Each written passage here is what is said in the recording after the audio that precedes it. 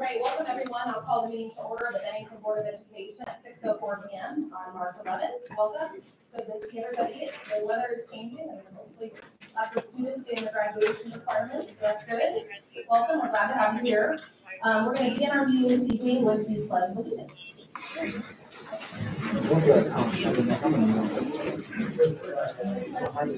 to the flag of the United States of America and to the republic for which it stands, one nation, under God, indivisible, liberty and justice for all.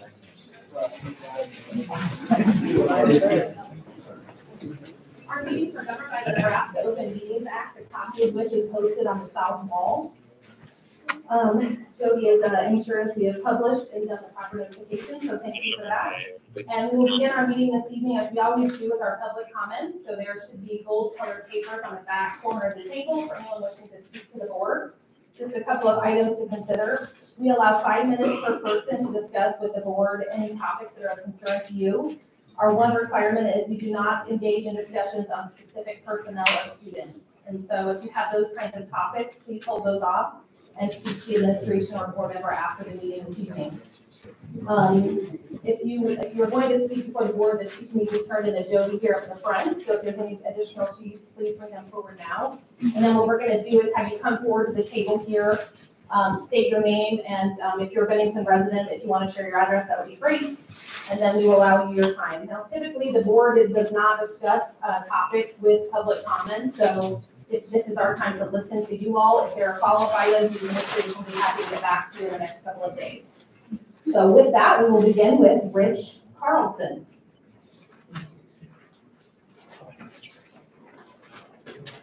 Thank you, Rich. Welcome. Glad to have you here. Thank you. My name's Rich Carlson. Um, Address is one oh four two oh North one hundred eighty-ninth Avenue, Bennington, Nebraska, six eight oh seven. I feel tonight is a night of compliments. The board is dedicated, they don't have any monetary value given to them at all, except their good feeling in their heart what they've done. And they've really done good. And board we elected this last two and a half, one and a half, whatever it was it is, we've got a real good board. And I think you've done everything really excellent. I have no criticism whatsoever. Next of all, I want to, I mean, I don't, you know, I always said what I think at this board meeting, and you know, if you go back and look at some of the stuff on the films in the last two and a half, three years, I've said what, but I've tried to do it sincerely. And I pray to God first that I don't say it wrong and don't hurt anybody's feelings. But I really want to congratulate you folks. Second of all, I want to thank the administration. And I mean everybody in administration, everybody from the top to bottom, and I want to thank all the teachers. We got one of the best school districts there are. And it's been from hard work, and a lot of that credit goes to our last superintendents that have done a good job. And we've had a few little rough spells here and there, and that's to be expected in life.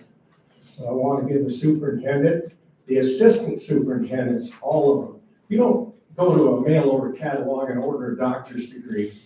It's a hell of a lot of work. And so I compliment them very much. The third thing I would like to say is I was fortunate enough to go to one of the meetings before it was introduced to the public. And they explained things to us and we got to do a little feedback. And I read that thing and I don't read good because I can't even recite the alphabet. I Don't ever think I'm stupid either. And I read it from forward, backward, and turned it around like a pretzel and read it. And it was all positive to me, and I really appreciate it. From that day on, every day I pray to the Lord. And if, and if you, if you get in trouble for saying God or the Lord at this school board meeting, I take a peanut butter and jelly sandwich with a file in it. Because I ain't gonna ever refuse saying the Lord. So I just pray that this thing passes and you people get to receive the compliments with a plus vote. And then next of all, down the road, I'd like to see, a didn't they used to call it baccalaureate when I went back to school, when the pastors used to come in and have a little prayer? I mean, you know, we can't go this day and age, what's right is wrong and what's wrong is right. And I thank you for your time. Thanks, Rich. Hands are even clean. doing a great job.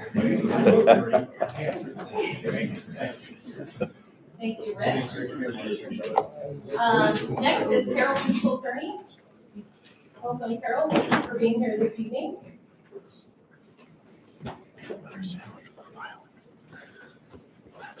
Well, I think we have a good school to too, but I don't know if mine's gonna come off. Just- I, I have some questions though, so I'm just gonna ask. When I, I try and look at the, uh, the agenda when I come in, and I'm always, because I, I'll say I'm a numbers person, um, I look at the bills and every, they're always approved, and I have no reason to believe that there's something that we're paying that we shouldn't be. But when I look and I go, oh, I wonder what that's for, I wonder what that's for. So I would love to see when we are like going over the bills, like pick a few items out that make sense, or, or that might not be as apparent to the public as they are to somebody else, because I feel like I, I know, I've been here a few times and, but I still don't know. Like, for instance, Nebraska pediatric practice, or on to college, or Verco, or, um, access systems leasing, you know, for ten, twenty thousand dollars, I don't know what those things are, so that would be helpful for me sitting in the audience, just to see that kind of stuff. Or if there's something unusual, like fertility, like nutrition services account, we paid MMC mechanical contractors, or the activity fund, we paid Hausman. Those things seem to like strike out at me, and so hearing an explanation of some of that, I'm sure it's a great one, I just don't know what it is looking from the outside. Um, And then I noticed that we're switching to iPads, and I don't remember it, but it could have happened at a meeting. What's the cost of us switching from, from, uh, I'll say, a a- you know, a Dell or an HP or whatever, you know, to iPad, to the Macs. I'm just curious what it, is there an additional cost or is it a wash or what? Because I know the kids have Chromebooks, so that would be different than what the kids are using. Um, so I was just curious. And then on the interlocal agreement, again, I don't know how those work, but I have heard people, um, over, I'll just say the last year, that have said, oh, can we ever get the developers to put in money? And, and yes, the school has to pay for some of that development, but how is it determined, like how much the school pays and how much that developer should pay? Because obviously if they have a school in their housing area, I would think that would help them sell homes better. I don't, again, don't know how it works, just a curiosity for me. Um, and then the last one is the, the CK, let's see if I can say the alphabet, Amplify CKLA implementation update. I'm thinking that's our recent purchase, I think it was, my, again, I'm going from memory, eight or nine hundred thousand, and the one thing I, couple things I remember when that, was that the board didn't have to approve that purchase, and I'm just trying to remember if that was right, that, the way our policies are written, that that could just occur. Um, and I don't remember there being any negatives, but obviously there's some, some things in there that the presentation says aren't so good, so now that we know those, or maybe we knew them up front and I just don't remember them, but what are we doing now about those, because we put out a lot of money for that? And if we have future curriculum things, does the board have to approve that, or is that just okay? Because it seems like that was a lot of money. If I get on there, on the purchases, sometimes I see, you know, twenty dollar items, and that's getting approved by the board. So that seems like a discrepancy. So just my curiosity. Thank you. Thank you, Carol. Is there anybody else that walked in late that would like to participate in public forum this evening? All right. The next item on our agenda is our consent agenda. This includes approving the agenda, the minutes from our February 12th regular board meeting, uh, presentation of our March bills for approval and payment, as well as personal resignations and hirings. Steve, you and I have bills this evening, bill review. Um, so I just wanted to mention, I know, um, for the board benefit, we did approve the pole vault and the high jump pits. All of that was actually purchased and that came through this month. Um, and then I did write down all of them fast enough upfront, Carol, but I can comment on a couple of them. On to college is the ACT prep course that we pay for for our juniors. to Access leasing our copying services. I'm going out on a limb here, so I'm looking over the superintendent to, to check with me, but those are the two that I, okay, good. We got a, a triangle going here, so. Um, uh, Carol, we will get back to you on a couple of those items. Um, Steve, did you have anything else you wanted to mention on, on the bill review? As a matter of fact, I did have access on my, uh, bill review, so, um, one of the questions I did have, so we have copy printer usage, and they are used. And so I'm, obviously, these are necessarily equipment. The copy printer usage would include both paper and, So the lease agreement is not just for the uh, copiers and the printers, it also has a set number of print jobs that it would do. And so, um, within that, I'm just gonna make a number, so bear with me. It'll say that we get, whatever, two million prints throughout the course of the year. And then they analyze those quarterly and then tell us if we go over that amount as well. And so that's something that we look at internally to see, you know, do we have certain buildings that are gonna go over, or certain individuals that are utilizing too much? And so the lease is both the machines and a set number of print jobs. You actually want to go over, but barely, because if you go under it, then you didn't, you paid for copies that you didn't use. And so, um, when that was set up and how it was put together, I don't know if they intentionally tried to be lower than what our, our needs were, or if it's the growth, but, um, what you're seeing is the overages beyond that lease agreement.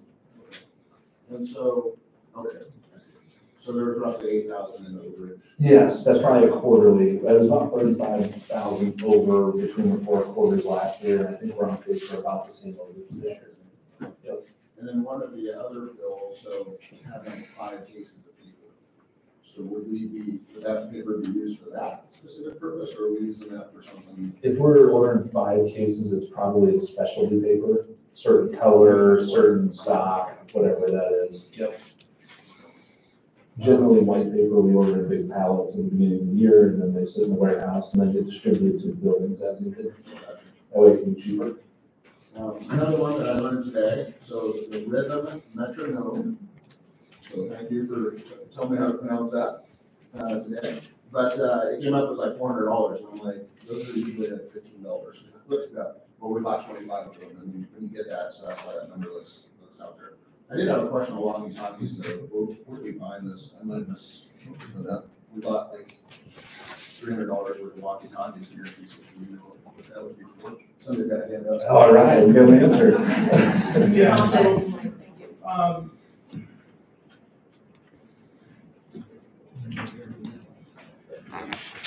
So we, uh, bought some walkie-talkies for the special education department, um, kind of keeping in mind the walkie-talkies that go throughout the district. Those are a more hefty duty, have a lot of programming behind them, a lot of service behind them. Our special education programs, however, they don't need quite as much, uh, of that program behind them, so we need some basic walkie-talkies, but what we're looking for is just being able to outfit our special education teachers and paraprofessionals with walkie-talkies so they can call for help if they need a little assistance for a student who might be having a, a health concern or something like that when they're off in the building, they can call the special education team to come help them, or they can call back to the, the office and have, um, the crisis team, uh, respond. But it was a more cost-effective way of getting everybody outfitted with those rather than just a few key people with the, the larger, more expensive devices that are for the district. And so there's this lobby will reach district wide. We, uh, we got those, uh, I believe Rob and his team did some testing. Um, and it won't reach district right, it'll just reach within the building, that's just what we're looking for. And so their idea is if they're on a playground, they can call back and we'll have one of the walkies sitting next to the, the secretary that we can call it on the big walkies that can go for district wide if needed. So, Thank you so much. Um, I have a few other things, so one of the other, and some of these questions have been answered, but just so people understand. Um, so it's my understanding that teachers have a a budget that they can spend, right? Um, so I just saw some things like, um, and I'm just thinking that that should come out of a different budget, that was explained to me, so. Um, I did have a question, that has not been answered yet.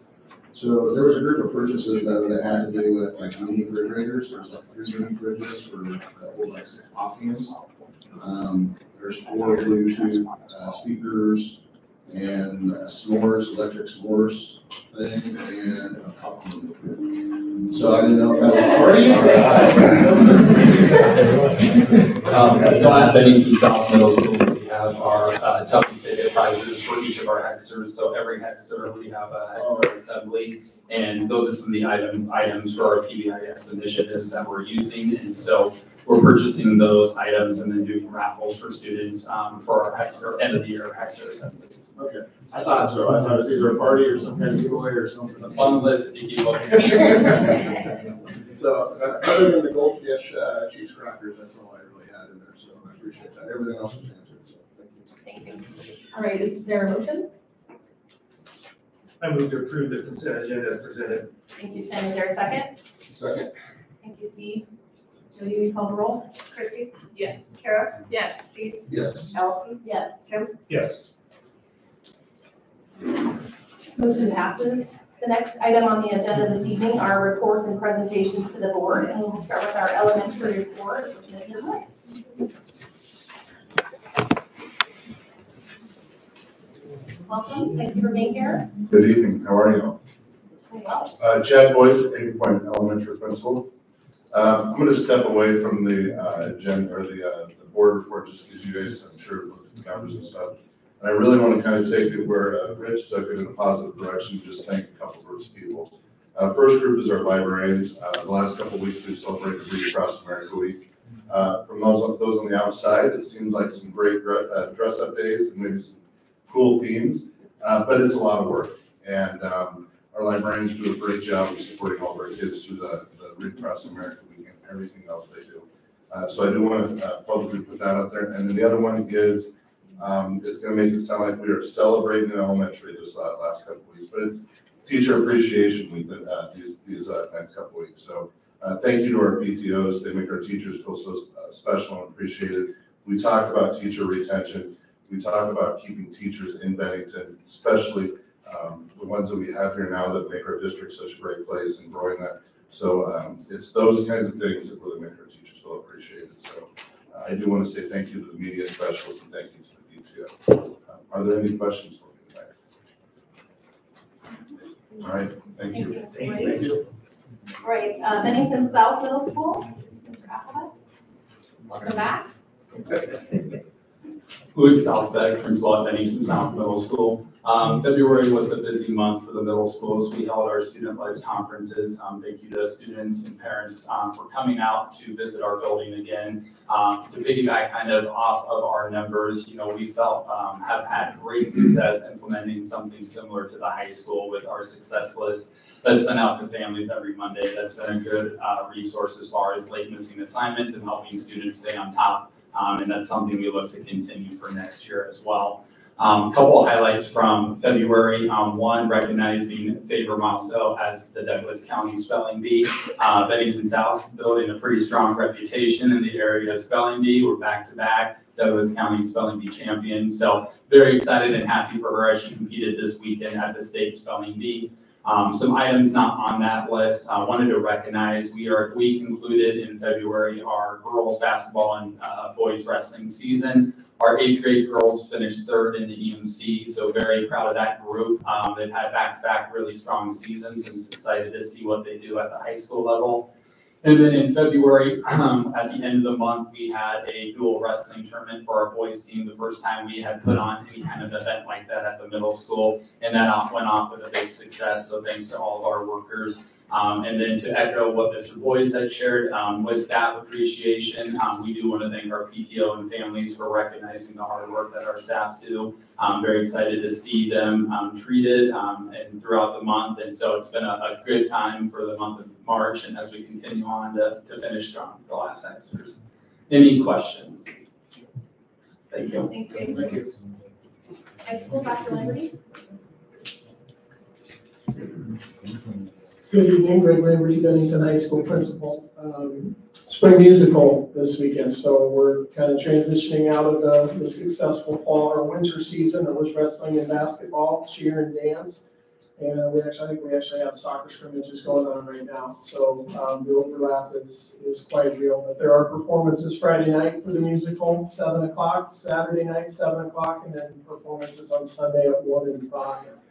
Uh, Another event that we held uh, last week, we had eighth grade registration night. So 318 middle school families, we saw about 240 of those families and kind of explained registration, scheduling to them, graduation requirements, those types of things. And our counselors are are uh, working hard to get everybody rounded up, get things put in so we can start building the uh, the master schedule. Um, The only other thing that I would like to mention, um, state speech, uh, we still have that coming up. We had six students qualify this past weekend, so they'll compete in, um, I believe it's March twentieth out of Kearney and represent Bennington High School in, in the state speech class A division. Um, so I know that gets bandied about a lot, and just, um, we do have programs that are, that are up in that top class, so. Um, last one is just an admission of guilt. Uh, Mrs. Cerny, uh, referenced, uh, Verco, and I think Dr. Blumenkamp might, uh, might out me on it, so I'll just out myself. That is our payment, um, for the health classroom furniture. So we have the health classroom renovation going on, that is completed, so I believe that payment is the chairs, the tables, uh, to outfit that room, that they were, that they were necessary, I promise. Questions for me? Thank you. Thank you. All right, we'll move on to student services with Mr. Bombeck.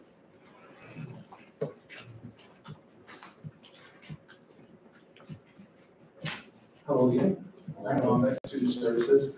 I just want to kind of pull up a couple numbers here for you. Uh, The first thing I want to point out is these, this is our projected weights and measures. We, uh, we do a uh, a weighting system that um, talks about how much service a student needs to fulfill their special education programming. Uh, That is on a scale of one to four, depending on the level of need there. Uh, We do that every year, several times a year, and check on those numbers to see where we're at. We always like to say, we have a target of uh, 24 that is the beginning of a conversation, that isn't like a firm number, there's always some room around that to kind of talk about some nuances and things about any particular caseload. Uh, a few pieces about the, the numbers you might be interested in. Most of our weights are in, in a parameter that's not too, that's looking pretty okay. Uh, the numbers at Bellevue, uh, Bennington Elementary, um, those look a little out of whack. We had a position still open that we weren't able to fill last year as we came into this year. So we supported that through paraprofessional supports that kind of offset that, that need there. That's been filled for next year, so we should be looking a little better condition for next year. Uh, you'll also notice at high school, we, uh, had a position open this year that, um, for the, the services there. Uh, kind of keeping in mind that we would have filled that position, the twenty-three probably wouldn't have changed that much. Uh, but as we move into next year, we filled that position, and we're still looking at that caseload weight uh, increasing just due to the numbers that are flowing into the high school as, as our, uh, kind of that, all that movement in and kind of ages up. So, um, a couple other pieces I wanted to point out. Uh, Bennington Middle School, they're working on some of the career exploration pieces. I think that's an important part for them to get started early and talk about careers often as they get older, just for the exposure and things. I think they'll have that throughout middle school and high school, which is a wonderful, uh, piece that the district talks about and offers. And then finally, on the nursing, uh, you know, they're wrapping finally having that. They still have the dental and vision screenings that they, they go through, so once they get that done, that should wrap up their screening season. Any questions? No, Thank you. All right, Dr. Littlefield, I you're up next with operations. Okay, um, to piggyback off of Dr. Landry, the Verco portion of the athletic training room and, uh, uh, and health classroom, uh, was the furniture portion of the pictures that you see there. On the left-hand side is the health classroom, on the right-hand side it's the training room. The Hausman bill was the actual construction or demo, demo- demo renovation of those two classrooms or of those two areas. And so that's the, that's the two bills there. Uh, so hopefully that answers that question. But again, you can see we are finally done. We've talked about this since, August. Other than a few electrical outlets we're gonna add in that health classroom.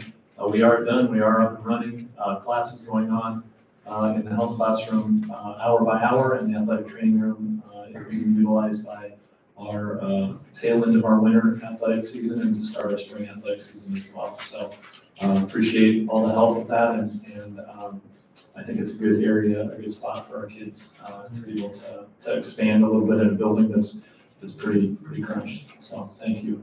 Uh, we scroll down, um, second to last paragraph there, uh, we did have, uh, a district safety and security meeting. Our third meeting of the year here was on Wednesday, February twenty-eighth. One of the main things we talked about, um, during Dr. Plaza and I's presentations on the bond issue over the last couple of months, one of the things that came up was just alternative ways of paying for things. And one of the things we talked about was that security film that would go on the glass, uh, of, of our front vestibles, front entryways. Um, the Nebraska Department of Education through the state legislature had a ten million dollar grant opportunity here in the last six or eight weeks come available Uh, Mr. Uckman and I are working on that grant right now, and that security film is part of the grant that we are writing. And so we work with uh, some local vendors to get some, some bids on that, so we would be able to include that into our grant. One of the other things we're looking at is some fencing uh, around some of our playground areas at our elementary schools. Uh, It's a $10 million grant, it sounds like a lot, but it's uh, all 240 school districts in the state of Nebraska are eligible to apply for that. And um, From what I've heard, there are quite a few schools that are applying, so we'll do our best, and we will get that submitted here this week on the 14th, and we'll know by the first week of April whether we receive any of that money. So those are kind of the two main areas that I want to talk about uh, this evening. Any questions that I can answer? Grant is shared by all the school districts or one school district gets it? No, it's shared. Shared, So that's what I you could get a million dollars, if you get fifty dollars, you could get no dollars. Sure. Yep, yep, yep. Now, a lot of the things that were written into the grant that, um, they were looking into is technology, safety equipment, cameras, leading kids, door locks, things like that. Um, so we felt like, um, structural, uh, safety procedures is something that fit into that. We felt like that for last film fit right into what we, what we need here in Bennington, and so hopefully it's something we can do more. I do have a quick question, just to clarify. So when we paid, uh, Hausman, was that out of the activity fund or out of the special building? So it was out of the facility use line item, which is in the activities fund. So yes, we paid for that out of there, and that's, um, uh, when we brought that, uh, to the board here earlier in the year, um, worked through that, uh, worked through that fund as well. Thank you. sir. You bet. Other questions? Thank you.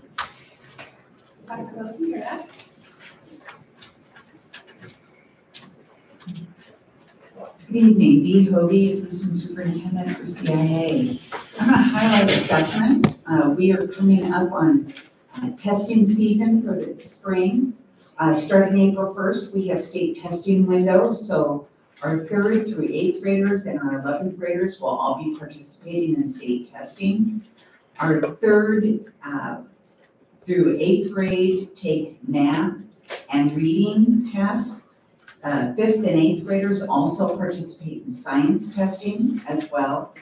Our eleventh graders participate in the ACT, which is the state-adopted um, measurement uh, for our high school students. And they take reading, writing, math, uh, English, as well as writing. And they'll do that on Tuesday, April 9th. And that's when our early out days so that we can build that schedule to fit what's going on. On that same date, our tenth graders will participate in the pre-ACT, and our freshmen will have activities through that day. Our seniors are involved in college visits or finishing up their three Cs to meet their graduation requirements. So a busy time starting April first, runs through that first week in May, uh, but it's a great time to to celebrate the work that our kids have done all year, to show what they've learned and can do. So, um, then we've gotten going on summer school plans as well. Um, we are already starting to invite students to our elementary summer school and working with our middle school as well. Uh, we offer summer school for kids in kindergarten through eighth grade, and then in high school, we have programs for credit recovery so that we can keep kids on track to graduate on time. So uh, our elementary is focused on the Olympics. We're going to have an Olympic theme uh, this summer, and our middle school is to the moon. And they're going to do some outer space themes and study some science along with their reading and math. Any questions I can answer for you tonight? Thank you. All right, Dr. Claus, you want to give us your superintendent's report? Yeah, I wish I had a fun theme like summer school, but I do not. I'm going to talk boring budget. Uh, we'll start with, uh, just a little bit of a budget update. We are now six months through the fiscal year. And so, um, as we've done in the past, kind of broke down our expenses into two categories, payroll and accounts payable. Payroll is everything that has to do with humans. So it's your salary, it's your FICA, it's your insurance, everything that would be tied to that employee. Uh, accounts payable is everything that's not tied to employees. So it would be contracts, it'd be electricity, it would be maintenance, all of those other items. And um, so what we did is we did an analysis of the last five years to determine what percentage of our budget had we expended through six fiscal months. It's not exactly like you'd think. Uh, payroll is actually pretty close to its half. we do have some employees that don't work during the summer, and so, um, you know, it's not exactly fifty percent at the end of the year, or halfway through the year. Accounts payable, we have some big bills we pay early in the fiscal year, some we pay late in the fiscal year. And so I took an average of the last five years and just predicted out to see where we're at. We did make this a little more nuanced, it's not exactly just a perfect percentage, but, um, we did analyze to make sure that it was gonna be fairly accurate. Um, as of right now, uh, payroll is forecasting out to be just over four- forty million dollars, which is just about two hundred thousand dollars over, um, what we anticipated in August when the budget was adopted. On the accounts payable side, we are significantly under what we anticipated. We're right at five million dollars in expenses. Uh, we've traditionally been about forty-five point eight percent of our total budget at this point in the year, um, which moves that to about 10 million, 10.8 million, which puts us about a million dollars under what we anticipated at the start of the year. Now, we could have another tractor that catches on fire, we have, you know, whatever else can happen with the HVAC system, that number changes in a quick hurry. But as of today, uh, we'd be about a million dollars under budget. Um, all in, uh, we are about eight hundred thousand dollars under what we anticipated at the end of August. I've done this for years, and what I've found out is this is really inaccurate-ish halfway through the year. You get to May at the nine month, and it gets pretty darn accurate. And so, um, it's a way for us to make sure that there's nothing that's way out of whack or just looks completely different than what we expected.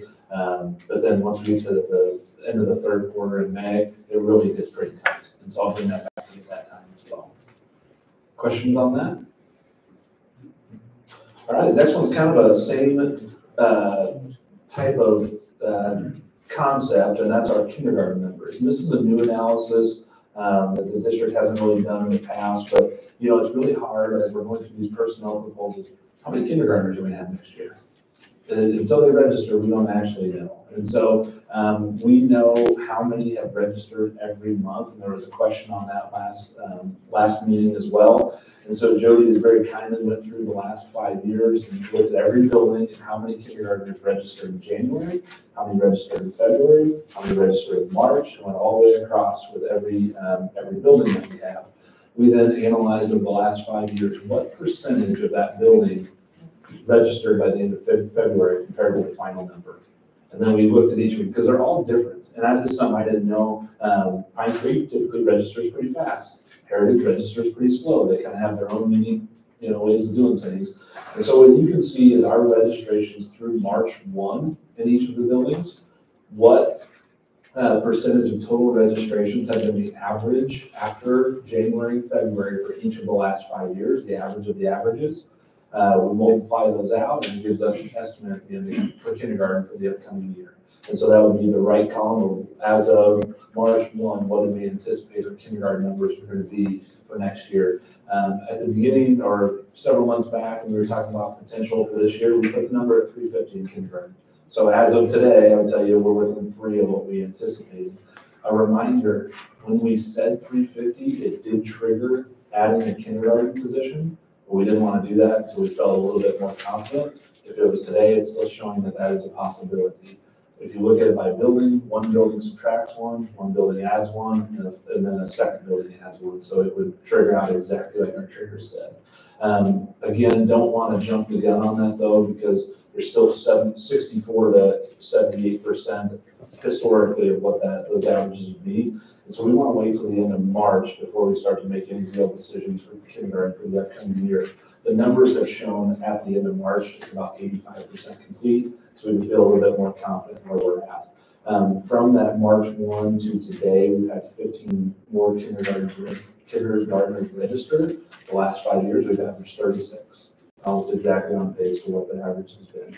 Um, the one positive of that is Pine Creek has only had one, because that's the one that we're looking at going, oh no, this is, might, we're gonna figure this one out. And so only one of those fifteen has come from Pine Creek. And so, uh, we'll feel more confident here in a few weeks, uh, as we forecast that out.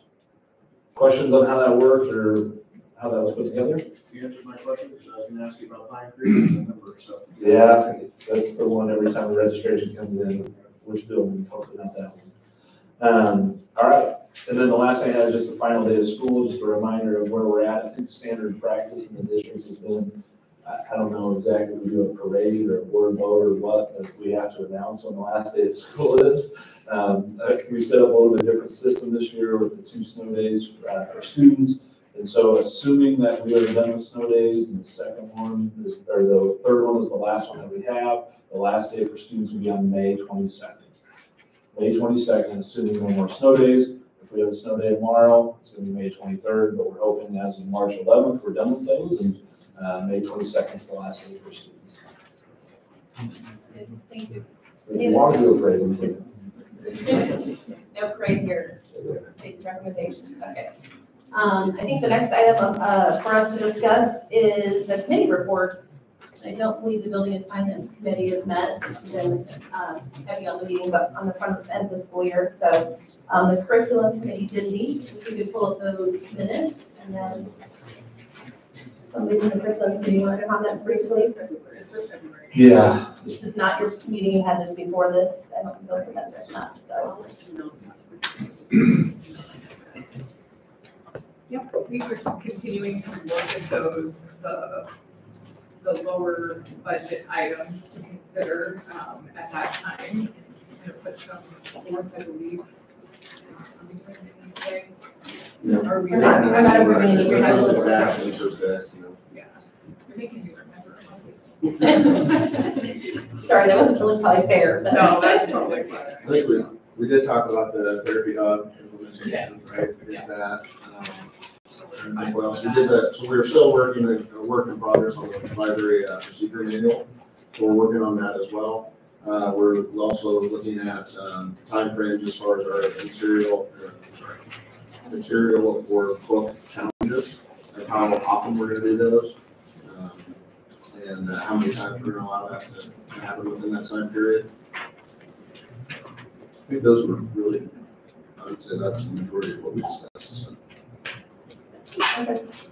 And then I can report on the policy committee, if CC will.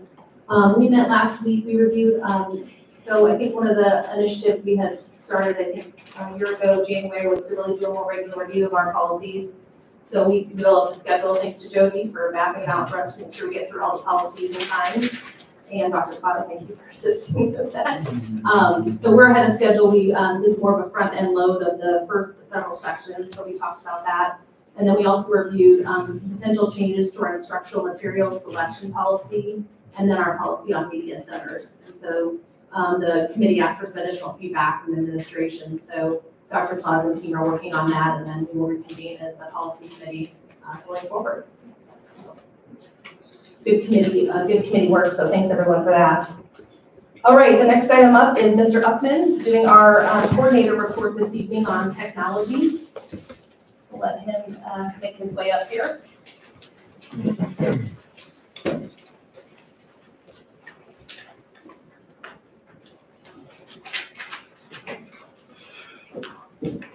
Thank you, welcome. Welcome, thank you guys. Uh, my name is Rob Luckman, I'm the technology coordinator for the district here. This meeting, typically what we've talked about is kind of our plan for how we move forward with the rest of school year purchases, projects that are coming up, things of that nature. Um, So I always try to introduce my team because nothing I do happens without them. Um, There's a couple of new faces up there. Um, our system administrator was lucky enough, he took a director job down at Ralston, so we're gonna miss Josh. Curtis Kralichek, who's been with us for almost four years now, um, stepped into that role. So we have two new IT associates, Xavier Ingram, he's, uh, at the original middle school and high school. And then Mr. Jake Townsend has joined us, he's at Stratford and BSMS. Uh, one really fun fact, Jake is a former student of ours who's come back to work for us, so really happy to have those guys. They're, they're really fitting in well. So as we move forward, um, you know, since December, I have three new members of the six-man team, so it's been fun. Um, I will try and throw a quote in here. Um, this one's from Steve Jobs. It's not a faith in tech, it's a faith in people. Um, something that we all try to remember. We become so reliant on technology these days, especially in education. It doesn't matter how good the tech is I put in front of you, if you don't have the right teachers behind it, it doesn't really make any difference. So I'll try to put something in there. A Couple of projects coming up. Um, we have been working to implement what's called Duo. It's a multi-factor authentication.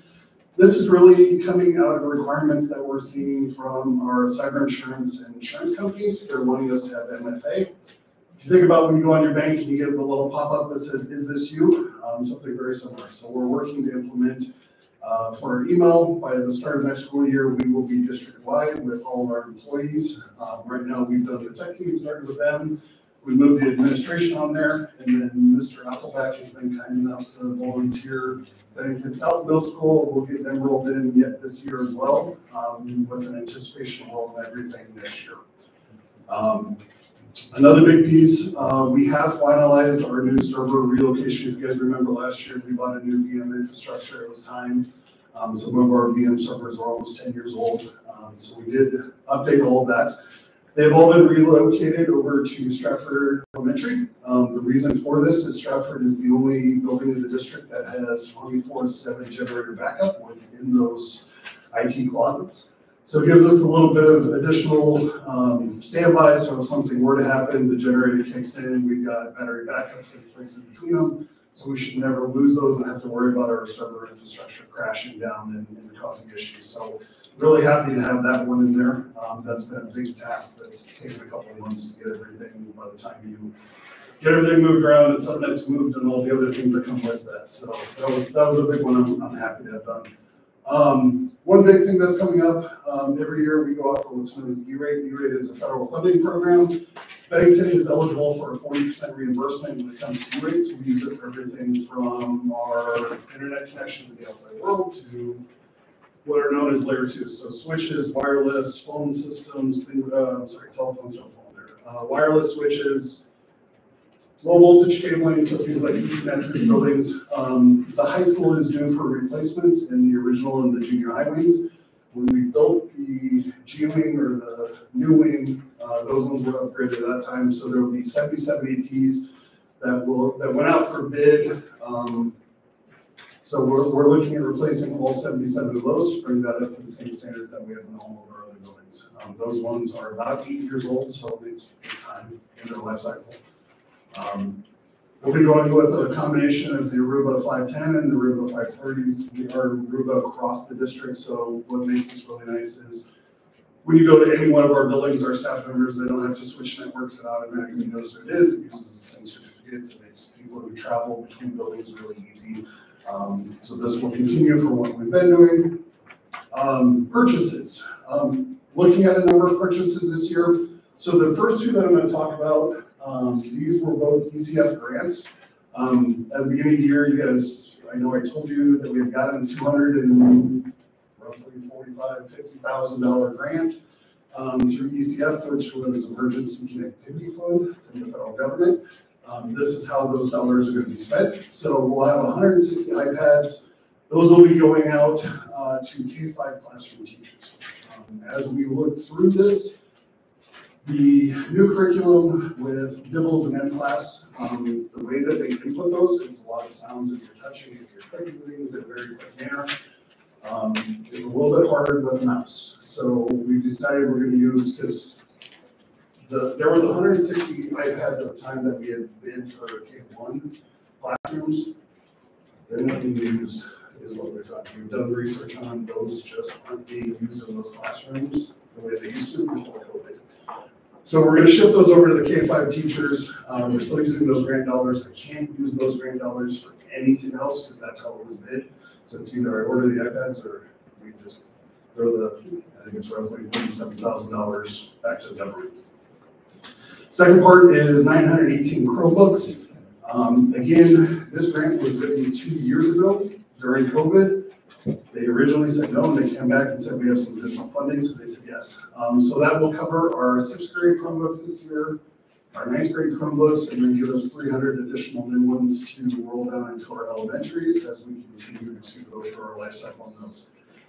And then finally, uh, we'll have somewhere in the neighborhood of ninety to hundred MacBooks for staff replacements and new teachers.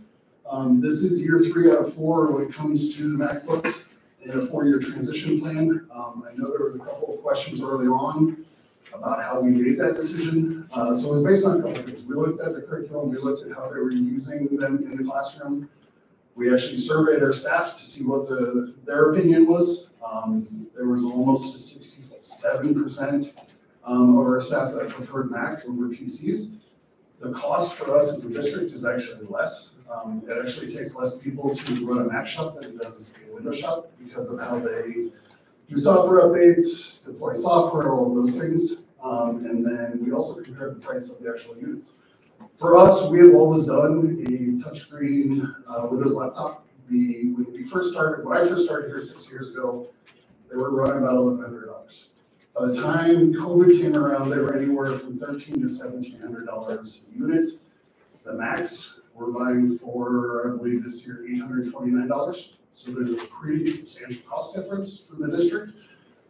And they have higher resale value when you get, when you would go to transition them off. So a number of things that came into play on those, but those are, those are why we made those decisions. Um, the other part, we're looking at twenty-five Mac minis. Bennington Middle School's computer lab is due for a refresh. Um, those ones are almost as old as that building.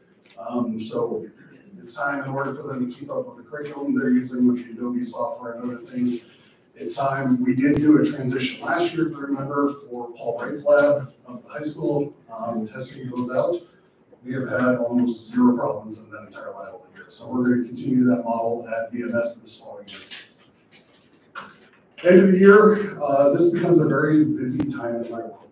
Uh, So every year, we collect all of the Chromebooks from um, 12th grade and 8th graders. Eighth graders, if they're doing summer school, they will hold on to those until they're done with summer school. But seniors and eighth graders, we turn those in, we refresh them, we recycle them down for elementary. That's part of our life cycle.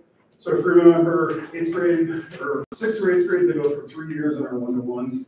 Then they go four years at our high school. After they're done there, we have about six years where those Chromebooks will pull updates, refresh, do everything we need them to. So those cycle back down to the elementary in the carts, they don't get quite as much use, they're not carried at home. Um, and we use them kind of in surplus. So if you think about it, you know, we may roll down a few more, but we'll use those to replace ones that are no longer in the warranty and have an issue. Um, that way everybody's still got a good one. The other part of that, we will transition this year all of our seventy-four hundreds. Um, so those are the black Dells, they're up on their five years. So they're coming out of cycle, and then we're working to prepare summer school rosters, app assignments, clever, and all the things that go along with summer school. So as I mentioned, this summer, what is on our radar? We'll replace the wireless and BHS. So those ones, we, the APs come to us, we do all the programming, we do all the installation on those. Um, we'll prepare somewhere in that ninety to hundred new devices for staff members. Um, some of those will go out before the end of the year. If your Dell is getting replaced this year, we're gonna give you that before you leave in May. That way you have all summer to transition on the new machine. New teachers, uh, will get their devices July seventeenth and eighteenth. Those will be the new staff days. We'll have boot camps, um, which are both tech and, um, integration based on how to teach in a classroom. And then we'll also be replacing that lab that at Bennington Middle School. So a little bit of highlight, Mackenzie White, who is our tech integration specialist, she falls as shared between both me and Dr. Hoagie. I'll try and highlight a little bit of what she's done. So last year, one of the things we did, we had her uh, set meetings with all new teachers, all first-year teachers, to do one-on-one uh, tech consults with them. Right now, she's at ninety-four percent of all of our new teachers have got their stuff scheduled and meetings and and are continuing to work on projects. We had a really big fifth grade social studies unit that she's helped to revise in collaboration with that team across all five of our buildings.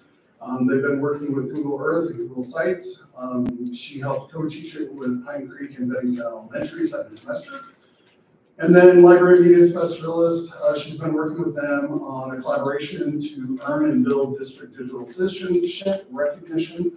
Uh, we're working with, um, a company to actually get registered as, or recognized as a district.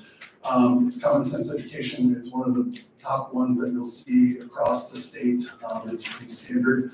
Um, right now, the, all of the library media specialists are working on getting their certification, and then once they get them, they'll work on school certifications. I believe we have two librarians who've already got it. one building that already has it, we have to hit sixty percent to get, um, registered as a district, so, um, some of the things that we have coming. Um, A lot of information, not a real lot, lot of time, but I'm happy to answer any questions that you guys have. Does anyone have any questions? Thank you for all of your.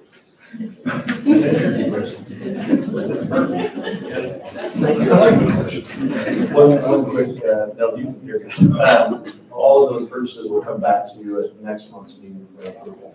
So if you have any questions, questions between now and next month, let us know and, uh, we'll get next month's agenda. Great, Thank you. Next up is Dr. Mendel with our um, Amplify CKLA um, implementation update. Good evening, Shannon Kendall, Assistant Director of Curriculum Instruction and Assessment. And like Allison said, um, I'm presenting on Amplify CKLA. Um, It is our K through five ELA curriculum. First, I want to highlight the process we went through last year and that we go through with every uh, curriculum selection process. Um, First, we do a review of our current programming um, our Old Wonders program, we look at the strengths and areas for improvement. And then we look at Rule ten and the expectations of Nebraska and the standards that they have set for ELA in the elementary. We also look at national expectations, the research nationally, and what professional organizations are finding that it's evidence-based and that works for kids when they are in reading instruction. Then we go through a needs analysis um, of what does our current trends say, how are our kids performing, um, what do our teachers say about our current curriculum. And that takes all about six months. Five to six months is the beginning process, really looking where we want to go with our next curriculum selection. And then at that point, we review our mission, purpose, and beliefs when we're teaching ELA. And we recommend changes to our mission and purpose based on the standards, um, what are national trends, what does the research say, and what have we learned from past instruction and our student performance. We make those recommendations for changes to our belief statements, and then we finally, about in, after the beginning of the year, we begin to review and evaluate potential instructional materials. And then we recommend instructional materials for adoption, and then finally, we finalize the selection and negotiate purchase. So this was a year-long process that we go through, that we go through with any curriculum that we're going to adopt. And so through this process, we came up with our vision statement.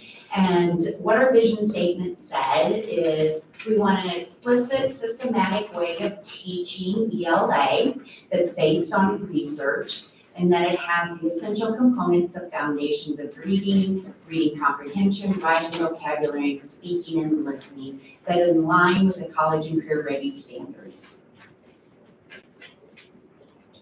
And so then we begin to focus on our material selection. We know what our vision is, and we came up with focus areas that we wanted our next potential curriculum to have. First thing we looked at is high quality instructional materials. We wanted it to meet the needs of all our diverse learners and outline explicit instruction for our teachers. The next thing we wanted evidence-based. We wanted to make sure that it focused on foremost helping all of our students learn. Finally, we looked at programs that were aligned to the Nebraska state standards and embodied the science of reading, the latest brain research on how kids learn to read. And then we wanted to make sure that it aligned with the science of reading, that aligns with the Nebraska Nebraska state standards. And we wanted to make sure it had a component of word recognition and language comprehension, the two things that are needed for kids to be successful in reading. So after that, how did we decide on Amplify CKLA, that alphabet of letters that you were referring to? Number one, it had the strongest program for foundational skills. What are foundational skills? Those are the print concepts, phonics, phonological awareness, and fluency. And we wanted explicit instruction in those areas. And then we looked at skill integration. We wanted a program that had, was inclusive with all ELA instruction. It contains writing, grammar, spelling, and handwriting within that program. Where in the past, we had had separate programming and had to buy curriculum for all those separate components. This was all inclusive in Amplify CKLA. I mentioned the explicit instruction piece. We wanted it to be systematic and clearly outlined for our teachers. We wanted to make sure whether you were a first grader in Heritage Elementary or a first grader in Bennington Elementary, you had a guaranteed curriculum and the same opportunities for learning. The next piece, number four that we looked at, was the vertical alignment. We wanted a piece in it that year to year it built on skills and content. And then the knowledge that was built and the skills were built would transcend through our system through middle school and high school curriculum courses. Number five, high-quality instructional materials. What we know to prepare kids to be college and career ready, that they needed exposure to complex and content-rich content, content-rich text and a program. And finally, college and career ready, like I mentioned, we wanted to make sure it was aligned to the Nebraska state standards and, and the instructional shifts outlined in the science of reading. So we knew that this was gonna be a heavy lift, that the implementation planning was very important because this was gonna be a first order change, a large change for our staff. And so we had to be very intentional in implementation. And so what we did is we formed an implementation committee.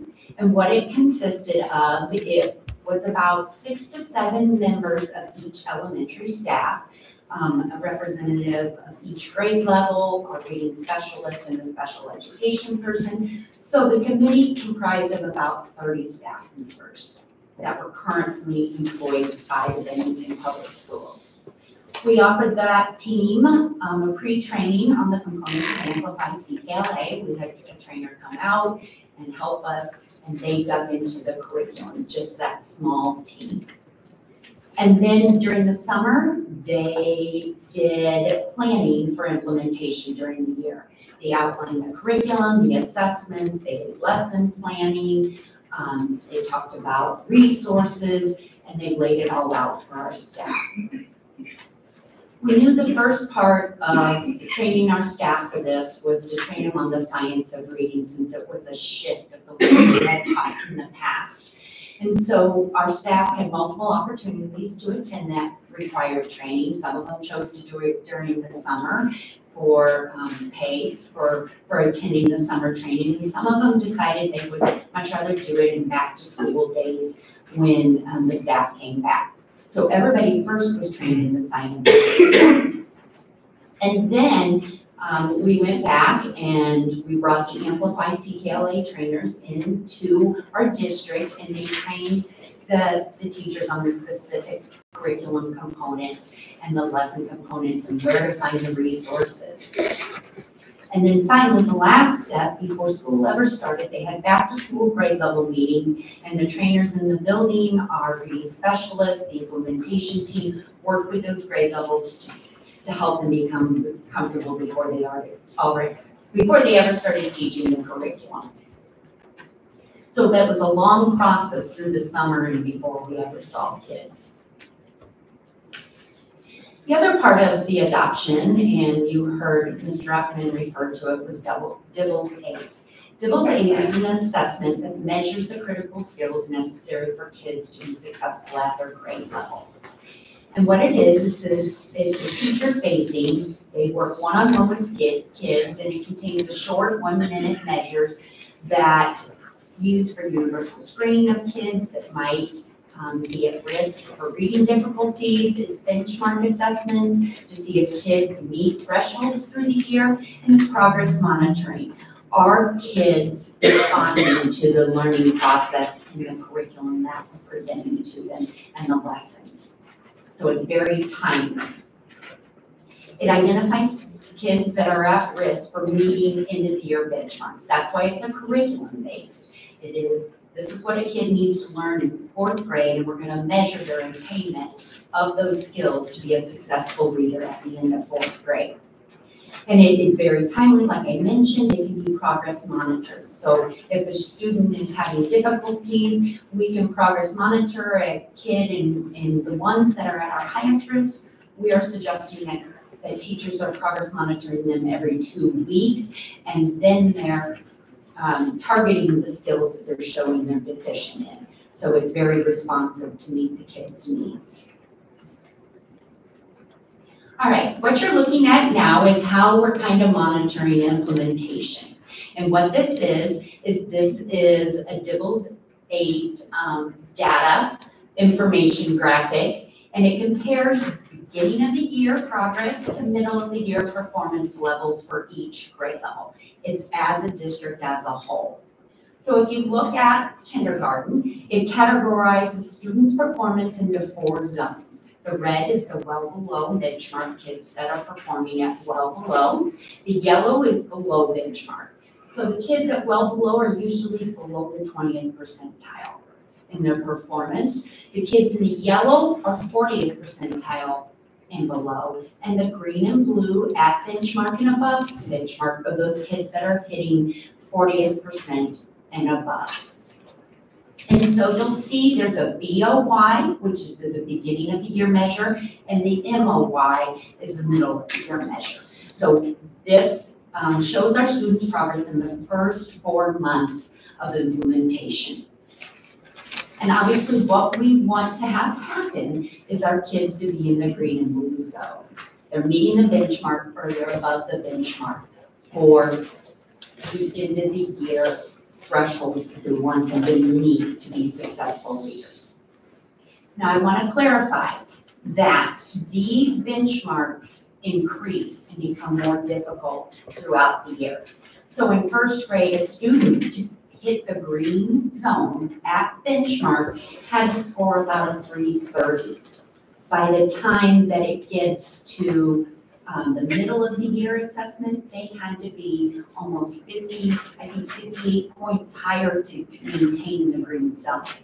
So if kids are staying in the green zone, they're still progressing. Those kids that are moving out of the yellow or the red zone and progressing are not only showing um, zones growth, but they're even achieving more because they're moving out of that zone of growth. So this shows kindergarten, first and second grade. And the next slide shows the third, fourth, and fifth grade. So you can see we're pretty pleased. Do we still have kids in red and yellow? Absolutely. And we think the system, we can dig down into that individual kid, find their targeted areas of deficiency, and offer intervention to address their areas of deficiency.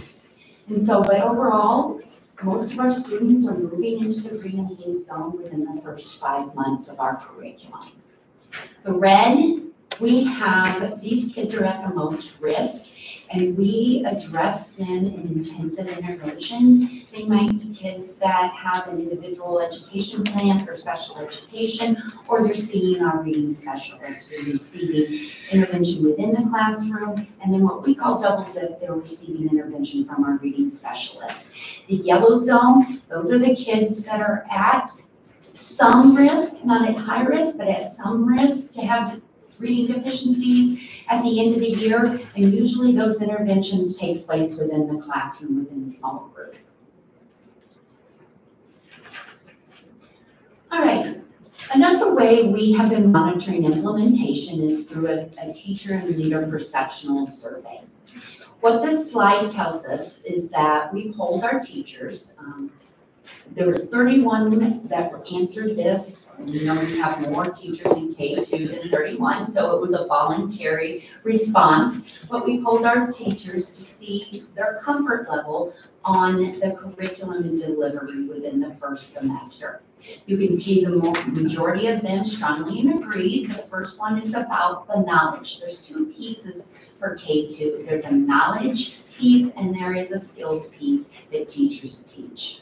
The majority of them feel comfortable. Do we want to hit hundred percent? Absolutely, and I'm gonna address that later in the presentation. What we're gonna continue to do to build that comfort level for these staff members. Now, remember, we consider this a first order change, and change takes time if we know the process. What the research would tell you, for a teacher to become confident in a curriculum, it takes three years. And so we'll continue to address this as the years go on. This is the third through fifth grade teacher perception. Um, you can see there is less numbers and they strongly agree, but they do, the majority of them do agree. I would say the lift for them was more difficult because of several reasons. The change was greater. Um, there is a morphology piece that the teachers have to, have to now instruct in, and it's very scripted. And what morphology is, is the study of words. Most of the time, our younger teachers are K two, we're working on the development of words and the understanding of words. But now that we know this, we're, we're stretching it, how important it is to learning to read, we're stretching it to our three, five teachers. The other thing is the content is rigorous. It is a very content, complex-driven curriculum, which shows to build kids' ability to read more complex and to analyze text that they need for career and college readiness. And so we think the heavier lift is here, but we do recognize we need to continue to work with our three, five teachers to build their confidence in the instruction of Amplify CKLA. All right, over, overall trends. We asked, we gave them the option also to put in comments. And so we went through all those comments and looked for their common trends and how teachers were feeling. They admit it's increased rigor, but they think it's good for our kids. They think it'll prepare them for the future better. Um, they are very excited. The students are showing early reading growth and it's great impact in the first five months. They say students are engaged in the content and the unit topics. We, we frequently see um, teachers going above and beyond, like the Vikings unit, they built in fourth grade, they built ships, and in the doctors unit or the health unit, the body systems unit in first grade, they pretended they were doctors and diagnosed and did fun things. So we see the really the, the teachers engaging in the curriculum because the content is new and they can build upon it.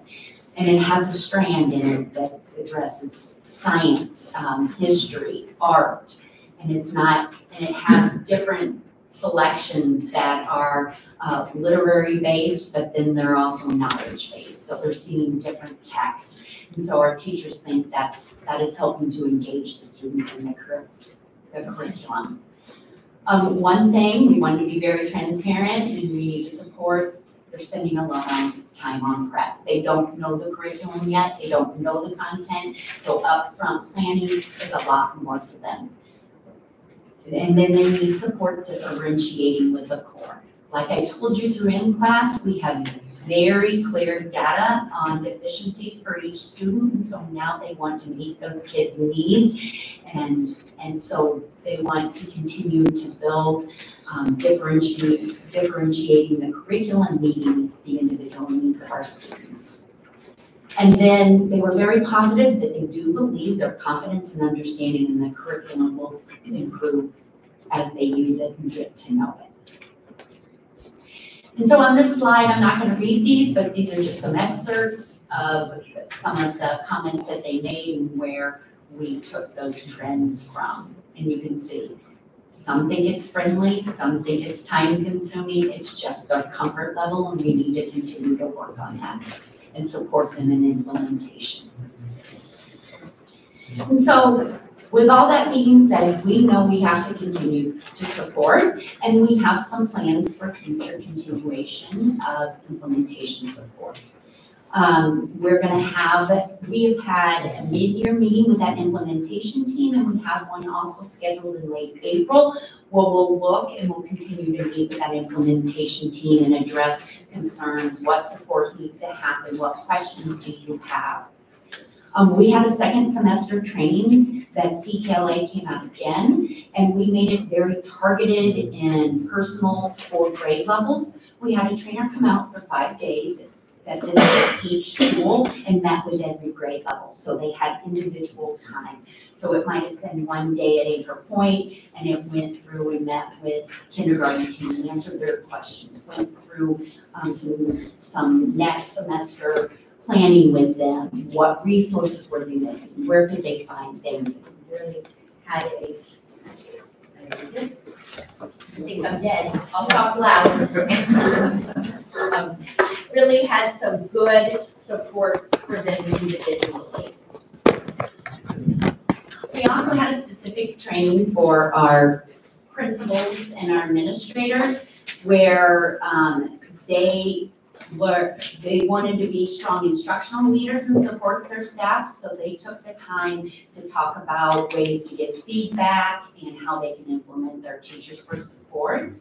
We give time for professional collaboration on our layout days, so across districts, they can talk, so there's consistency in implementation. But hey, you're doing really good on this, how did you do this? I'm struggling with this, what would you recommend? So that collaboration was very important. This summer, during our curriculum day, we will once again revise our pacing, grading, lesson for Amplify. Um, you know, we adopt a curriculum, but we also make it ours and, and, and make it sure it's meeting our needs and, and, and meeting our philosophy of instruction. And then after those meetings, after all that feedback, we'll determine second year implementation support and professional learning, what we need to continue to do. And we'll have an intentional plan once again. Okay, that was a lot of information. What questions do you have for me? Um, so I've got, uh, a kid in first grade and third grade, so we're pretty heavy into the change, so I Yes. appreciate, uh, all the information. Um, I know that some of the teachers that we've talked to, spe- specifically for my situation, right?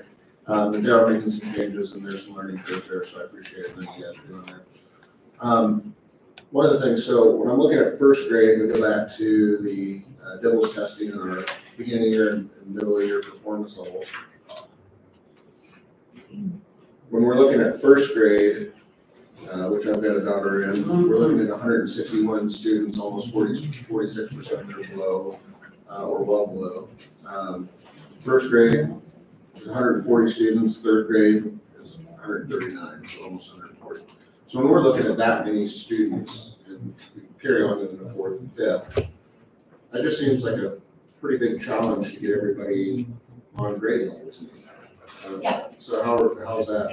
A- a- Absolutely, and, and so the red, Steve, the kids in, in, in red, we have really intensive targeted intervention. Like I said, that might be, they would go through, um, the process of PST, which is a problem-solving team, and we would address those deficiencies, and we try to plan. Um, if they're usually in that well below benchmark, they qualify for an individual reading improvement plan, which is an IREP. And so we would target those skills specifically, come up with interventions, and like I said, this system will also progress monitor. So every two weeks, we'll be looking to see if that kid is responding to the intervention, and if they aren't, then we will adjust the intervention. I do agree, those numbers look big, um, but I do think with the, adoption of the curriculum, we will see that decrease.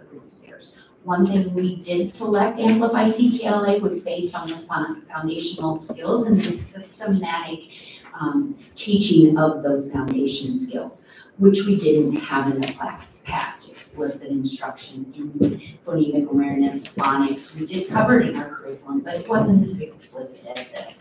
And so something like um, the the DIBELS eight does measure that, and so we hope, as we see it, we see it decrease through the years. We do have a plan to address those deficiencies. And so we do have enough resources for, especially the well below. Um, That just seems that if they're gonna do an IREP or, or IEP, or whatever that case, I mean, that just seems like a lot. Yeah, it, it, it could be a lot. Right now, the We twenty, got fifty-two kids alone just in kindergarten. We've got seventy-four kids in first grade, sixty-five in Just, I, I mean, I've been through the process, so I just feel like that seems to be quite a bit to me, so. Th- th- Those aren't, those are high numbers, but um, we do have reading specialists in every building, sometimes two, and those are district employees. So if there's one building that um, shows increased numbers in the red, then we would move those, that FTE or those individuals to that building to target that instruction. We're always monitoring that, and we come to you to ask for more reading, instruction support, special education, teachers based on our student needs. Yeah, I know our summer school, I think is full, is it full already, or I, I know the younger ones are, there's a waiting list, so. We have, we have to offer summer school to our students that are on reading improvement plans. That is uh, part of the Reading Improvement Act. And so they do get first um, offering to summer school. Um, We are looking, we did increase the numbers of summer school this year to support those kids. So hopefully, and some of them take it, some of them don't. We do have options of summer enrichment programs or stuff they can do at home that we can send home too. I haven't heard of that work, so. Yeah, yeah, sometimes we, we offer that and, and, and send home packets and enrichment for those kids who, who may have interest in summer school but are not able to attend or do not qualify. It's called summer enrichment. Ye- Yes, yeah, yep, yep, it's been sent out the last two years, Steve? Was gonna be my question, was just what does Amplify CKLA, CKLA, all the letters? Um, is there a piece for parents or home instruction throughout the year, or is that just There is. summer? Okay. There is, and students can access the reading and the materials at home digitally, and those will be open in the summer. The other thing we have is, um, oh my gosh, just blank. Well, what's the name of that program, like that, that they can log into? Yeah, that's what I was gonna say.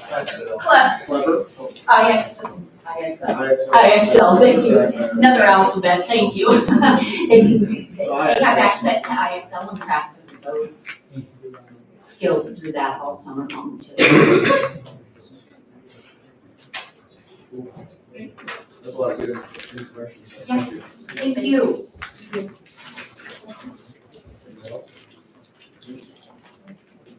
All right, next up is our lobbyist report. Is Julia here? Apparently not. I didn't see her. Do you want to highlight a couple of items, Dr. Claus, or you want to? We've all had opportunity to read it, so. Yeah, just a couple of high level stuff, if you don't mind opening that statement, I know what talking about here. Um, first thing, I think there are forty days, or if they're in the day or not, so 40, 41 days through the session, so that's two thirds through the short session. So we're getting down to the end, um, seeing a lot more, um, collaboration between committees and within committees for them to try to figure out what the packages are gonna be.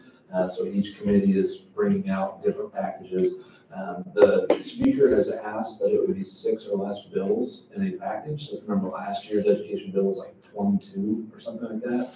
Um, I have seen some that have more than six though, so I don't know where that rule is exactly standing or not. Um, but those are starting to come out. You can see the education bills that are on there. Uh, nothing that, I'm trying to remember, if there's some that greatly impacted us as a district.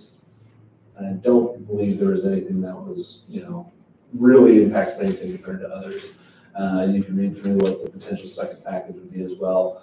Um, probably if you go down, please, um, maybe a little more impactful right now is whatever the potential, um, uh, property tax savings or how that impacts, uh, uh, school funding for next year.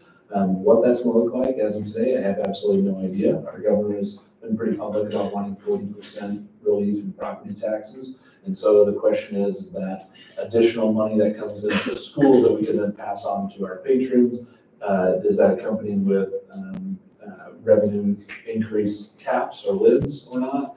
Um, those are parts that we just don't know at this point, and they're still working on, um, probably more behind closed doors. So one of the proposals that's out there is to limit the revenue that comes in. So a reminder, LB two forty-three that was passed last year, the way that worked was, um, it, you get three percent, so your revenue is allowed to go up three percent. So if our state aid goes down ten percent, we are allowed to make that up with local property taxes and increase our total revenue by three percent. If our state aid goes up, then we would have to drop our property taxes, so they limit us to three percent. There are some caveats to go above that, that's the plus, plus, plus. Um, that's based on EL students, um, students with, um, on free and reduced lunch, and then growth as well. And so growth was a big one for us, obviously, as our district continues to grow at an incredible pace. Our plus in the growth side is significantly more than others. Um, Beyond that, let's say, so this year, I think we were like eight point one was our total revenue increase we were allowed to have.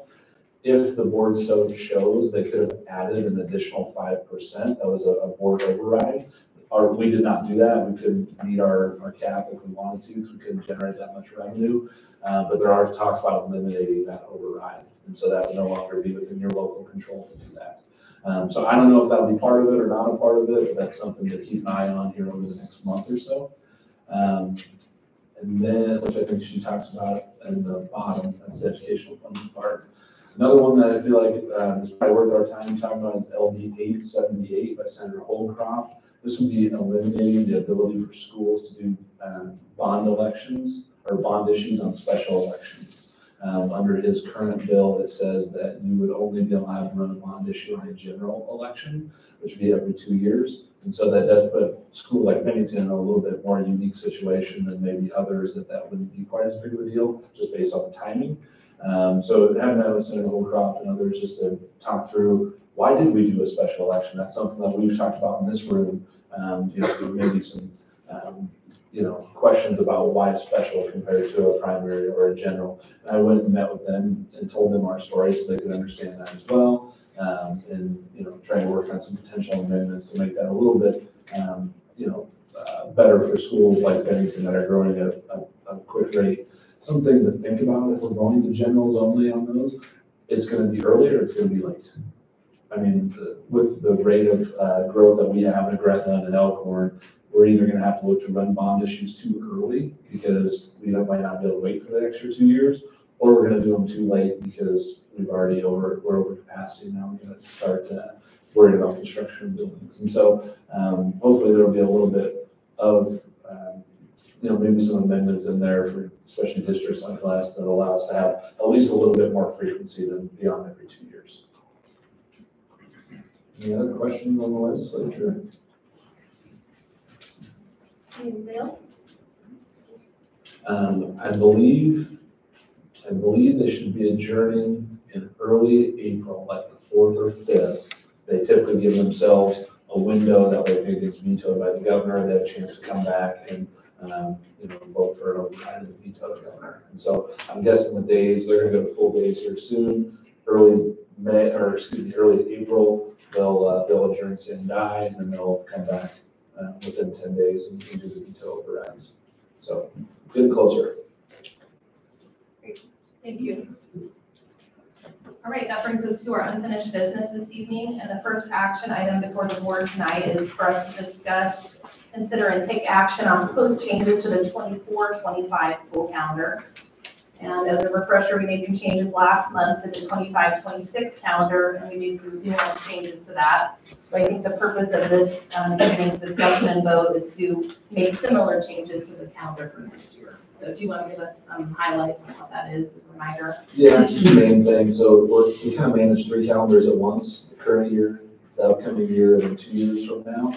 And so trying to get them all back in alignment, uh, based on what we have done throughout the course of this year. And so first change on here was actually something that was approved for the 25-26 calendar. That was separating the high school parent-teacher conferences to Monday and Wednesday, while the other buildings are on Tuesday and Wednesday to try to increase our, uh, attendance at the high school. And so this would put next year's with what we approved for two years from now. Uh, the second part is, um, us in line with what you approved from this year as well, which was the early out on the same day as the Bennington Track Invitational. We utilize our staff, uh, to run that. We don't have enough parking, um, for what goes on during the school day, and so we need to, um, have the additional parking as well. And so this would add an early staggered dismissal, um, on April twenty-second to accommodate the track meet. That's been approved for twenty, current year 23-24 and 25-26. We just gotta get the middle year done on both of those fronts. Those are the two main changes. Are there any questions from the board? All right, I move to approve the 24-25 school calendar as presented. Is there a second? I'll second. Thank you, Karen. Any other discussions on the proposed motion? Can you Jody call the roll, please? Tim? Yes. Christie? Yes. Kara? Yes. Steve? Yes. Allison? Yes. Motion passes. The next item before the board is our new business this evening related to some interlocal agreements related to the Morgan Ridge subdivision. It was approved back in July of twenty-two. Closing is coming up, and there are some interlocal agreements that need to be um, approved by the board for closing to take place. Do you want to highlight a couple items um, for the board on those? Yeah, so as Allison mentioned, uh, this was approved in two thousand twenty-two. Part of that purchase agreement that was approved said that we would enter into local agreements um, to uh, both the development of the SID and then also the roads that would go into it. And so this is bringing that to you guys. Now, we first discussed this, I think it was in October, November, I can't really remember. I kind of went through all the, what was approved and then what was upcoming within these as well. And so I tried to outline those so you can see where we're at a few months later and how those have come together. Uh, the first one we're talking about is the um, interlocal with SID two, or six twenty-three, so that's within Morgan Ridge. Uh, we have two expenses that come with that. First is for special assessments. Um, and then the second one is for the general obligation of the in lieu of ad valorem. Um, the current, uh, estimate or what is actually within the interlocal agreement, the special assessments would be two hundred sixty-one thousand five hundred and ninety-six dollars. The general obligation would be six hundred twenty-three thousand two hundred dollars. And so in comparison, those two together, when we talked about this in uh, October, November was nine hundred and twenty thousand, where they're within the actual interlocal agreements would be eight hundred eighty-four thousand seven hundred and ninety-six. And so these are about just over thirty-five thousand dollars under budget compared to what we discussed a few, a few months ago. Um, essentially what those do is allow them to, um, do the dirt, or excuse me, um, yeah, the, the special session, yeah, general obligation, yep. Questions on that interlocal agreement? No, we've talked about this a couple times, just want to make sure folks have any time to ask any additional questions on the interlocal agreements that are now prepared. So when I'm looking at the actual contract, it looks like total cost is twenty million dollars roughly, twenty million, seven hundred thousand, center description forecast estimate of public infra- infrastructure. Uh, you're in the actual, and this is, And um, then, and then the draft, the general obligation is ours, right? The general obligation is eight million is ours, not an eight Portion portion. of it. a portion of the general obligation. Our portion of general obligation is, uh, six hundred and twenty-three and two hundred. Where does that say that in the contract? Get the right page. So below it says district, school district's cost share for the public improvement, and then it gives, uh, number five, right below the table, I think you're looking at. Yep. And this is in draft form, that's what, uh, we, I think we're all good, we've got all the different attorneys that have just gotta come back and say, yes, give you the final, uh, um, uh, we're okay with it on all ends. So it is still in draft form, which is why the language is as it is, but we don't anticipate any changes. We just have not heard back yet um, to totally finalize it. So we are seven percent of the totals, must be the percentage that they were, they used if this whole, we were talking about Steve. Okay. So the eight eighty-four is worst case scenario, that's, that's us, we're not. It'll be done, yeah, that'll be it, worst case scenario, yes. Yep. Any other questions? Here's the proposed motion. It's a full paragraph, so somebody can write it for you. I'll read it.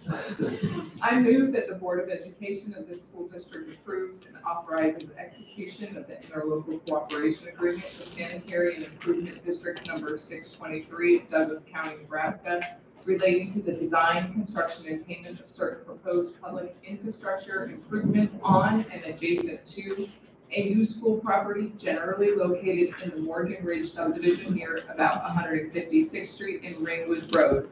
Such agreement in the form on file with official BPS records and as presented at this meeting, or with such changes as are deemed necessary and in the best interest of BPS and approved by the board president or superintendent of schools. Thank you, Christie. Is there a second? Second. Thank you, Tim. Any further discussion before we vote? You noticed how I jumped on the second. All right, Jody, call it roll. Kara? Yes. Steve? Yes. Allison? Yes. Tim? Yes. Christie? Yes. Motion passes. Um, next item is the second interlocal agreement. You want to highlight a couple of items from that? Yeah, so this would be uh, with ourselves, uh, Douglas County, SID six twenty-three, SID six thirty-three, and the Papio Missouri River NRD. And so this would be for the road that would connect one hundred fifty-six, one hundred sixty-eight. So it'd be the extension of Rainwood Road as it is now to continue straight forward and go all the way across. Um, And uh, again, this is a condition of the uh, purchase agreement that we would enter into uh, interlocal with them. They have completed, um, this is for two thirds of that road, and so I want to be clear on this. That road as a, if you think about one hundred fifty-six to one hundred sixty-eight, this would be an interlocal for all of us, but all the costs that we're talking about are for two thirds of the road. The final third of the road is where it gets to that dam site, and all that this interlocal agrees us to is that we will be a part of those discussions. Not actual any costs associated with it, we haven't got that far, nobody knows what's out there as far as what that is even going to cost. Um, and so this is the first two thirds that would go past these two, um, subdivisions, these two SIDs, get to the dam site and stop. And so that's where all these costs are going to. Um, and so, uh, when we talked about this earlier, or the way that this is, um, played out is three hundred and twenty thousand, two hundred and twenty-six for the roadway grading, and then hundred and seventy-one, one thirty-eight for the paving. When we talked about this in October, November, whichever month it was, we originally estimated seven hundred and fifty thousand dollars for these two line items. Um, as of, uh, the writing of the local, it's four hundred and so we are currently two hundred and fifty-nine thousand, one hundred and twenty-eight dollars under budget compared to what we anticipated earlier in the year. Again, for two thirds of that project.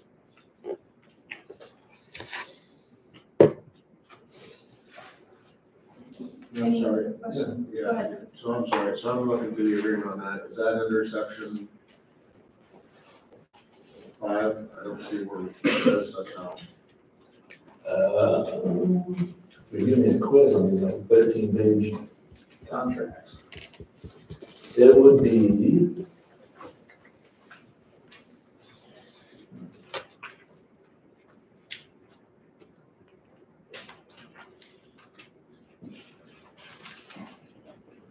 You're which page it says that, right? Yeah, where it's got the dollar amount in, on the, Anybody's new before me to approve it.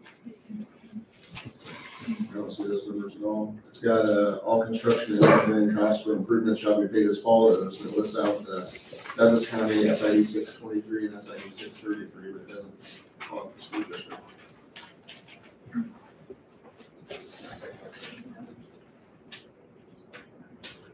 I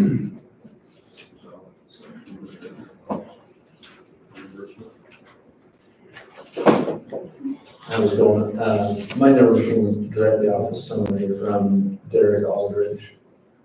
So I gotta find it within the contract.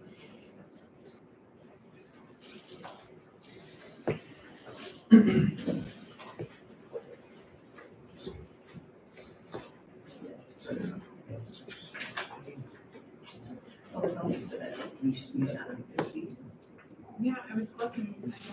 Yeah, but it's a C, Dr. Plus. Ah, great question. Maybe that didn't get scanned in. I was gonna say, it just says it's attached, but it. Yeah, maybe I don't, I didn't get it attached to it. I had uh, Derek Aldridge send me a direct summary of like, tell me exactly what we're gonna cost, what, or what it costs within the contract as it is, which is how um, all of these numbers have been put together.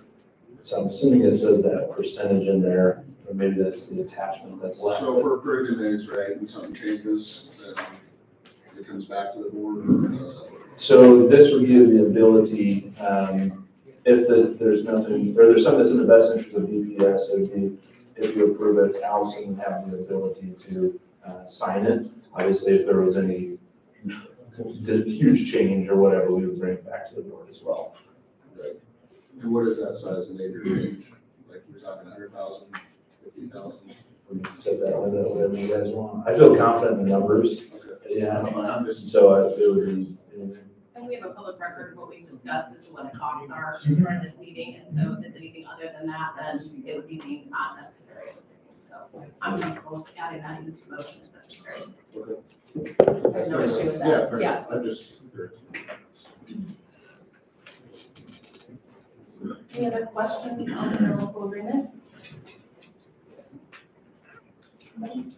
kind of one quick thing for you. Yeah, absolutely. Um, so that closing is on April one, and so we'll have the land and the grading that was previously approved on April one. So that will be in your invoice report at the next meeting for approval. There will be some closing costs in there beyond, um, you know, a little bit beyond what we had talked about before, but uh, I tried to put it on this one, this, we can't do that, it's part of our agreement and do a wire transfer, so it's gotta be after the fact. So it'll be in your April packet.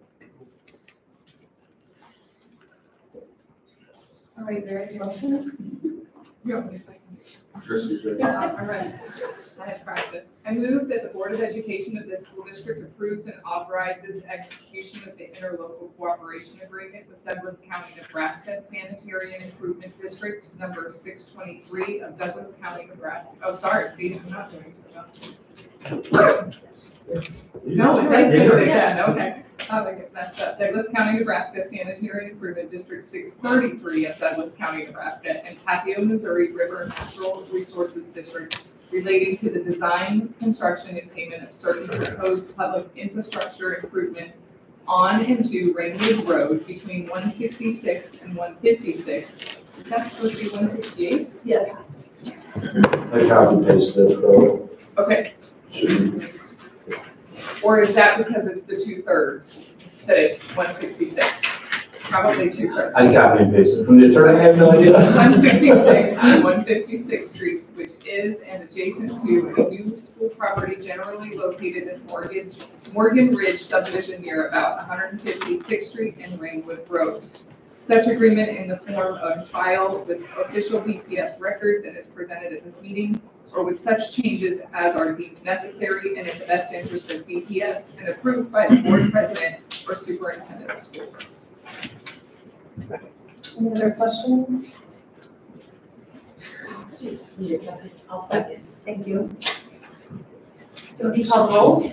Kara? Yes. Steve? Yes. Allison? Yes. Tim? Yes. Christie? Yes. Motion passes.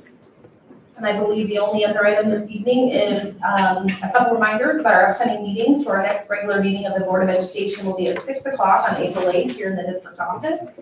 Um, We do have a curriculum Americanism meeting on today. Already happened, okay. Sorry about that. Um, And then obviously tomorrow, our bond election results, so March twelfth, big date for our district. And with no further business, I move to adjourn the meeting. Joe, do you want to call the roll? Tim? Yes. Christie? And Kara? Yes. Yes. Allison? Yes. Meeting adjourned.